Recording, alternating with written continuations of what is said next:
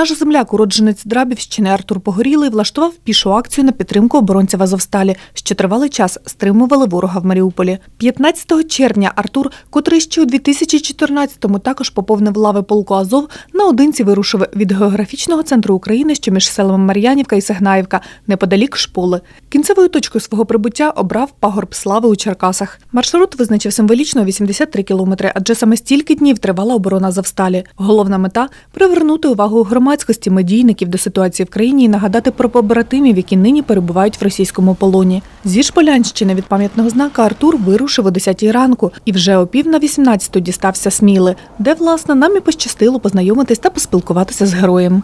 У 2014-2015 році. На момент, коли е, я вирішував, е, в який підрозділ я хотів би піти, е, один із таких мотиваційних останніх, скажімо так, моментів, які е, ну, відіграли роль, е, це було визволення міста Маріуполь, якраз таки полком Азов. І мені, ну скажімо так, сподобалась е, той настрій та кількість, кількість якою мінімальною кількістю вони зробили просто неймовірну справу, звільнивши таке велике місто. І в принципі це, скажімо так, була остання крапля е, стосовно моїх сумнівів, які підрозділи будуть. І е, плюс ну, відсоток був певних, певних моїх знайомих, які вже були в лавах.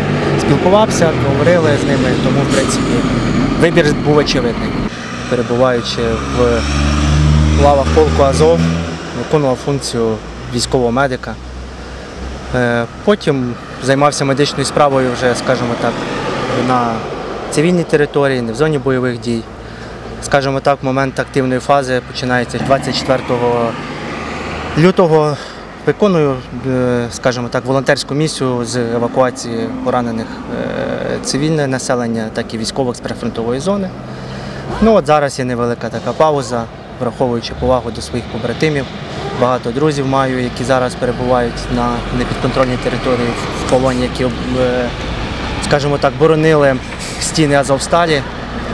В зв'язку з тим, що попит і запит медійний е, соціально зм- зм- зменшений, тому вирішив такою акцією трошки звернути увагу суспільності е, до цієї проблеми, яка є. Тому що, в принципі, ми нічого не знаємо, в яких умовах вони перебувають, що далі.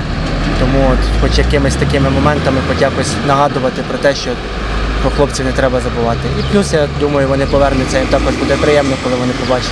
Маршрутом, в принципі, все просто і логічно. 83 кілометри, кожен кілометр символізує один день е, оборони Азовсталі, тобто 83 кілометри маршрут. Для того, щоб, е, скажімо так, трошки собі важчу задачу зробити, то йду із е, медичним рюкзаком і в бронежилеті. Скажімо так, щоб хоч е, коли це скажімо, медійно буде висвітлено, щоб зрозуміли, що ту дистанцію, яку я проходжу в цій мінімальній амуніції, це 10% від того, що я зараз відчуваю, те, що відчувають, відчували там хлопці, будучи на передовій, виконуючи свою місію, функцію по обороні і захисту нашої держави. В принципі, плюс-мінус я йду нон-стопом і буду продовжувати. Тобто це такі мінімальні паузи, там 10 там, 15 хвилин і продовжую йти далі.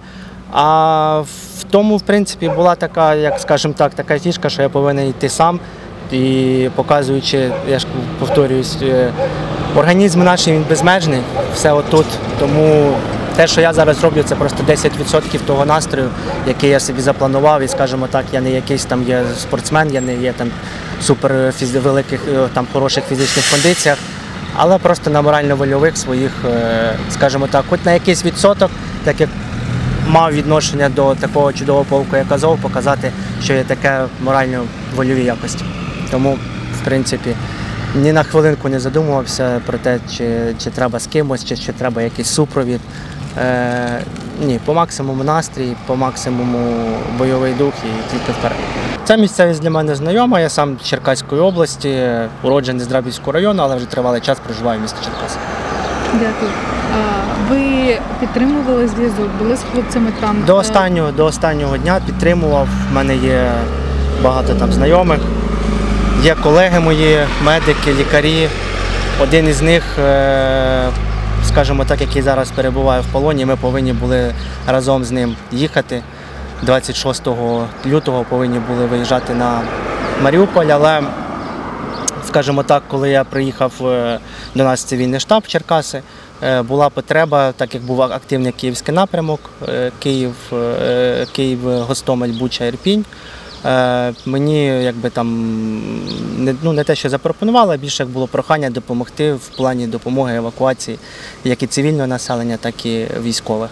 Тому я е, товаришу сказав, що давай я трохи залишусь, потім я під'їду, але потім з дня на день вже він поїхав, а я вже потім зрозумів вже з часом, що вже доїхати туди вже буде нереально. Які настрої там панували? Ми знаємо, що е, азовці допомагали і цивільному населенню.